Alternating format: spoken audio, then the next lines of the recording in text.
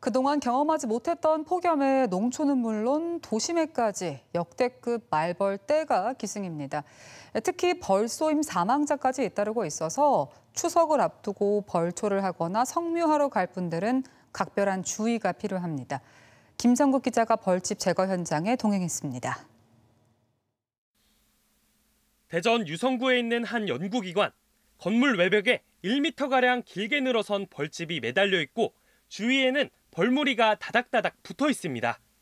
신고를 받고 출동한 이곳 건물에는 말벌 수천 마리가 들어있는 벌집이 만들어져 있습니다. 보호복을 착용한 소방대원들은 사다리에 올라 벌집에 살충제를 뿌립니다. 밑에는 다 쌌어? 네. 오케이. 벌들이 약해진 틈을 타 글개로 벌집을 떼내 대형 봉투에 집어넣습니다. 40일 넘게 폭염특보가 이어지면서 고온 다습한 환경에 잘 자라는 말벌 개체수가 늘면서 신고가 급증했습니다.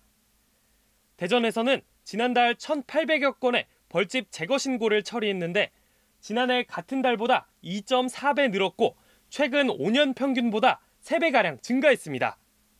어린이 놀이터에서도 말벌의 한 종류인 쌍살벌 벌집이 발견되는 등 도심 곳곳에서 벌들이 출몰하면서 시민들의 불안감이 커지고 있습니다.